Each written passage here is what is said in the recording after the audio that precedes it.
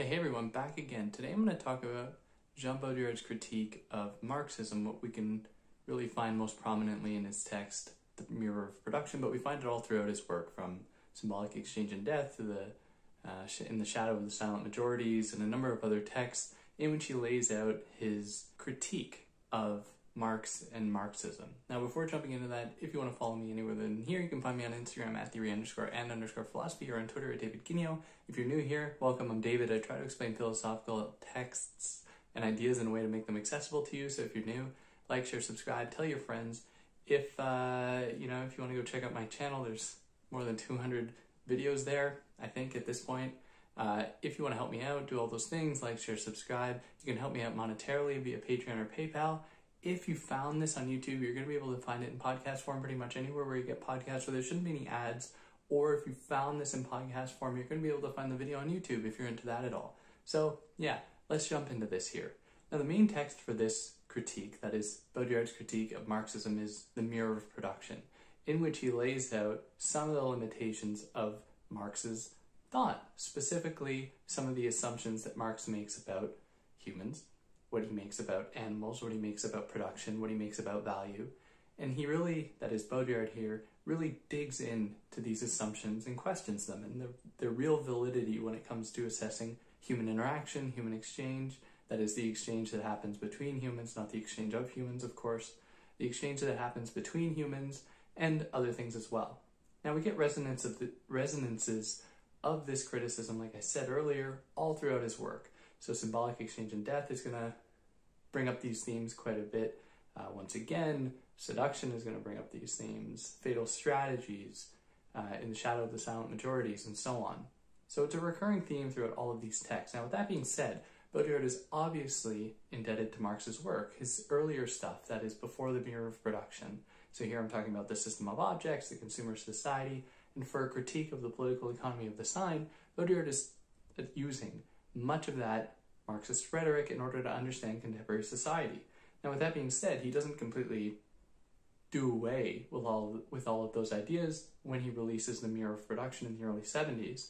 In fact, in my opinion, he's trying to find a way to rethink these categories to expand Marx to such an extent as to better understand what is going on today, all the while pointing to the limitations of, of strict Marxist analysis. Now, I think that this is clear in the fact that Baudrillard very clearly read Marx and has a very firm grasp of Marx's texts, from the manuscripts all the way up through Capital and the Grundrisse and the Poverty of Philosophy as well. All of these Marxist texts uh, Baudrillard is very familiar with, including many Marxists that would come after, Rosa Luxemburg, uh, Althusser, and so on. He's very much committed to understanding this field. Now, the first real issue he brings up is that the idea of production is something that remains uncritically within Marx's framework. That is, pre and post capitalism, if we can imagine such a thing, production will, in a sense, continue. Now, in Marx's vision, I think that this should be nuanced a little bit because although Baudrillard is a very good reader of Marx, in my opinion, there are some elements that should be nuanced in how Baudrillard approaches it. Now, for Marx, the transformation of society from capitalism to communism is one that'll happen somewhat organically. So there isn't really a moment in Marx when it says, you know, class consciousness will uh, enter a certain phase and people will just um, catalyze the revolution. We don't really have that. In fact, there needs to be an organic movement into communism. Now, some basic uh, necessities have to be met for that to happen, and these have to be met in capitalism. There's a very famous letter that uh, Engels had written to another political economist of the time, or uh, another socialist at the time, where Engels wrote that it would be totally wrong to read in his and Marx's work the idea that history should move backwards, that Europe at that time in the late 19th century or mid to late 19th century should move backwards, should try to you know, go back to agrarian type living off the land lifestyle. Marx nor Engels believed in that. In fact, they very much needed or understood that capitalism was going to provide the conditions to undo capitalism. And that was because it was going to encourage production. It was going to encourage an understanding that production and value originate in real human labor, not from God, not from uh, any kind of mystical or spiritual plane. It comes from real human labor. Not to mention the fact as well that capitalism is going to be able to usher in new forms of communicative technology that is going to allow uh, people to communicate uh, in order to organize rallies, organize resistance to um, capitalist takeover. Additionally, it, capitalism was going to foster uh, scientific developments and scientific improvements, a move towards, or that would set the stage for what uh, Rosa Luxemburg calls and Louis Althusser calls scientific socialism. All of these components were going to be necessary and they were going to, come about through capitalism. Now, only when these conditions were met would communism even be possible. Now, as kind of an, an aside, this certainly would explain, at least in part, why you know the Maoist movement, why Stalinist movement were not communist uh, regimes in the strict Marxist sense, because there was a great deal of poverty, there was a great deal of illiteracy in those places at the time that made it so that you know it, it was trying to catalyze a movement that didn't have the time to actually fully unfold as per Marx's imagination, uh, at least in my reading. Now, the problem with this for Baudrillard is that it keeps intact the idea or some of these ideas about progress, about science, about um, human needs, about production, even after capitalism. So Baudrillard's alarm bells go off and say, well, how critical is this project really? That is, if it's keeping all of these tenets intact, that is, if it is keeping these certain logics that have a, a suspicious connection to Western modernity and Enlightenment, how radical is it really? So if it's going to rely heavily upon science, this idea of scientific socialism, what is going to happen at the end of it? Or another way I like to think about this, what happens with education? Is the type of education that is going to be taught post the worker revolution, is it going to be indigenous education, teaching indigenous knowledges, or is this going to be a kind of education that is going to teach only what a specific state, what a specific body of workers is going to deem to be appropriate? How do we actually ward out or understand the differences between uh, pure scientific socialism that is committed to an entirely materialistic view of the world. How do we reconcile that with spiritualism? How do we reconcile that with knowledges that do not necessarily subscribe to these tenets? Now, with that being said, as an aside, that doesn't mean that Marx is not still valuable. I think that a lot of these considerations can be implemented into Marxist thought, personally. But this is the beginning of Baudrillard's criticism, that is, questioning these tenets that will remain alive and that will intensify moving past capitalism. Now, additionally, in Marx's work, there's obviously a tension between use value and exchange value, where exchange value is going to refer to a thing's value in terms of the market. How much money is it going to buy? What can you trade it for? And so on. Whereas a use value is going to comply to a specific demand that someone has for that thing. Now, I think that Baudrillard gets this a little bit wrong in Marx because Marx is very clear in the first volume of Capital that use value can be anything. A use value in terms of commodity exchange just could be anything that anyone needs. It's not uh, referring to sustenance, it's not referring to sustainability, it's not referring to like shelter or things that uh, we might think that people need as basic universal human needs. But in any case, Baudrillard interprets it that way. Now, with that being said, I think that there's still what Baudrillard's critique about this is still valid, and that is that what are basic human needs? Are the needs of everyone going to be the exact same in this next world? How do we actually account for things like disability? How do we actually account for things like one's mental health, for example, where different people are going to act differently, going to have different responses to different societal arrangements? that are going to demand different ways to deal with that. So Baudrillard goes after Marxism for that as well. But in my opinion, I think that Marx and Marxism, especially many of the Marxists that would come after, really would account for that. They would consider the ways that the state, if it actually organized production effectively, it would be able to generate a, a kind of nest egg that would be able to account for these perhaps uh, these needs that people might have that are going to be specific to them that you know the state could then take care of, be able to manage. But this still demands a great deal of production. It still demands a great deal of work. So work remains as a category that is still going to be intact. However, this work in the communist imaginary is going to be one that is not conducted to earn someone else surplus value. So work is going to be done and what you are going to be paid, what you're going to be compensated for your work is going to reflect the actual work you put in. So in uh, a capitalist economy, that is not the case. In a capitalist economy, workers go to the market ostensibly as free agents. They arrive at the market and say, I am prepared to work. And the capitalist says, okay, I can't actually pay you what you think your work is worth. Because if that was the case, I'm not going to be able to make a profit off of anything that I am going to sell. Because if I paid you what you wanted to be paid, I'm not going to make anything. So I need to undervalue what you are coming to the market with as a laborer in order for me to make a profit. Now, this is a problem, and obviously, this is, unsus- this is unsustainable. However, it serves as the backbone of the capitalist economy. For Baudrillard, what would follow, what would follow capitalism is just going to be a reorganization of that labor to such an extent where labor becomes more productive, more efficient, where it is done for the betterment of the majority, not for minority of capitalists who are going to extract surplus value from the majority. So in that case, production still remains intact and it still remains the driving force of any kind of economic system and the political categories at large. Now, Baudrillard wants to leave room here to think about alternatives to that. What does that imply that work is going to continue? Why must this kind of work continue?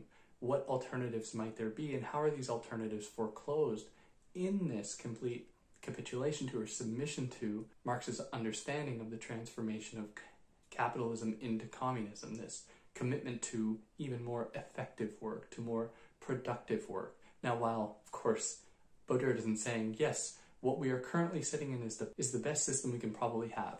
He's not saying that. Don't get that wrong.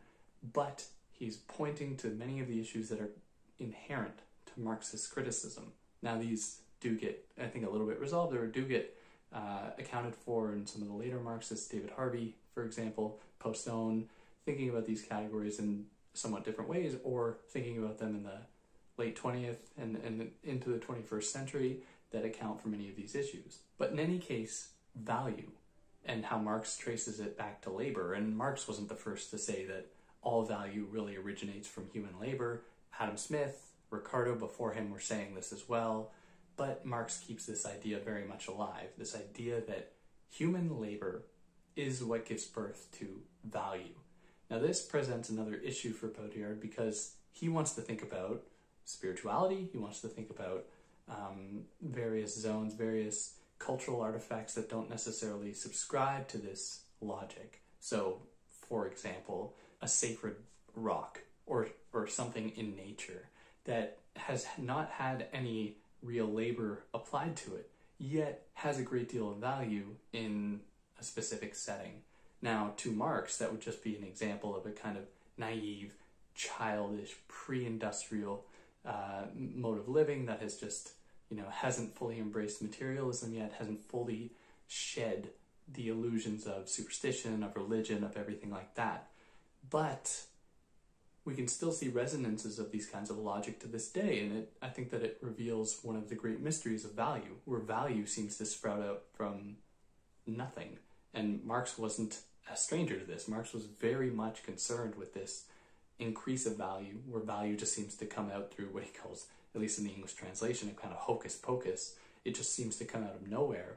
But it reveals the extent to which humans are not necessarily just geared to understanding value in terms of human labor and the fact that value can come from other places as well, where things can certainly establish the entire or condition an entire social arrangement that is completely outside of the domain of labor, of real human labor, like a sacred rock or a sacred tree or, or whatever, that is going to comply to a completely other logic. And it seems, at least in Baudrillard's thought, to be totally reductive to say that, hey, uh, these people are just childish or they're just naive, superstitious, not actually understanding the uh, the real human value associated with real human labor. So coming into the 21st century, we're also presented with a few other issues that I think Baudrillard best uh, anticipated. So, one of the ways I like to think about this is like my own self. Am I a laborer when I put up these uh, videos for everyone or this, this podcast for anyone listening to it in that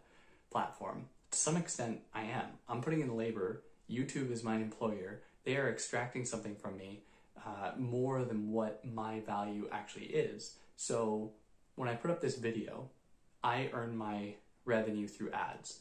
Now, ad revenue might be $10 for a video, let's say, hypothetically. I'm not actually going to make $10 because YouTube's going to make a cut of that, and they're going to take more than it actually costs them to uh, hold the servers in order to actually host this video. So they're going to make a profit from my labor that I'm never going to see, even though it is me doing this labor. And like I said, they're taking that profit above their initial cost in actually hosting the servers and so on.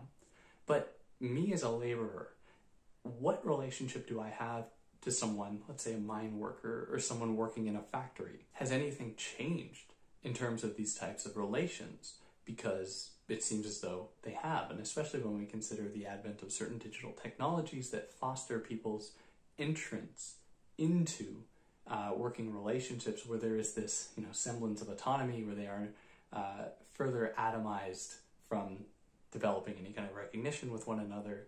I will be very happy the day that uh, YouTube content creators form a union.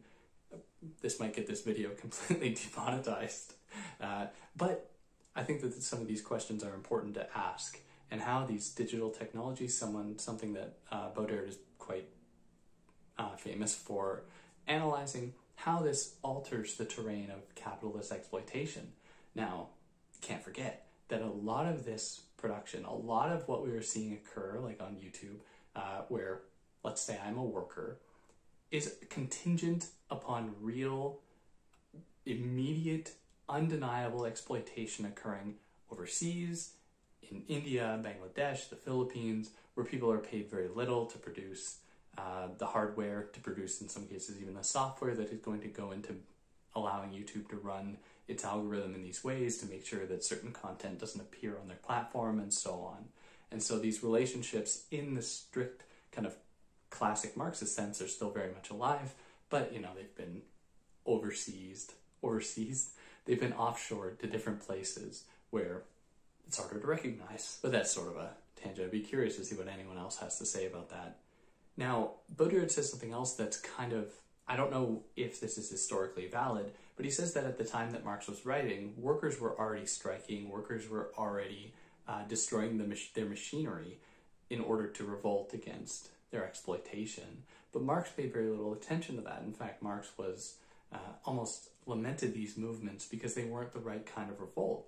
And I think that Baudrillard is really right in this criticism, assuming it is historically valid, because these types of revolts wouldn't actually be effective in motivating change because they are just individual instances. They aren't actually going to increase the logic of productivity to the point that it's going to just naturally evolve into communism. They are actually hindering the movement of capitalism to develop into communism. And so this is why Baudrillard says that Marxism is really only the mirror of production. It only keeps the same categories of capitalism intact by intensifying its logic. And Marx is very clear about the fact that we need to maintain uh, science, progress, all of these elements, materialism, all of these elements of Western Enlightenment into communism. And so for Baudrillard, it seems that communism is only ever going to mirror capitalism. It's only ever going to mirror the logic of production that predominates capitalist exploitation. Now, and this is a, another side, side point, but this really reveals how uh, reactionaries and conservatives in so many political settings are really clever when they illustrate communism as the boogeyman to uh, their way of life. Because according to Baudrillard, it really isn't. In fact, there's a lot in common between both capitalism and communism in maintaining what these people really uh, pride themselves on, be it their own heteropatriarchal monogamous way of life, their own uh, appreciation of science, rationality, and so on, if we can say that conservatives are really embracing these values. But it's, I think that it's a good point in that we have to look at the ways in which the apparent opposition to capitalism, because it attains its value within a dialectical framework, is going to maintain many of those same elements. And this is why later on in Baudrillard's career, he's going to try to think of a way to expand the categories or explode the categories of the dialectic to uh, open up newness to some extent, to uh, get away from those limitations. And that's more or less it. I know I was harsh on Marx, and I feel like I should be very clear. Marx has a lot to offer, and I'm a very big fan as to for what he offers and what the people after him would say. So this is really just about what how I interpret Baudrillard to be criticizing Marx, and I'd love to hear if anyone has any more from what they think Baudrillard is trying to say in criticizing Marx, or in ways where Baudrillard was just totally wrong. I'd really love to hear about it. And yeah, if you like what I did, like, share, subscribe, and I'll catch you next time. Take care.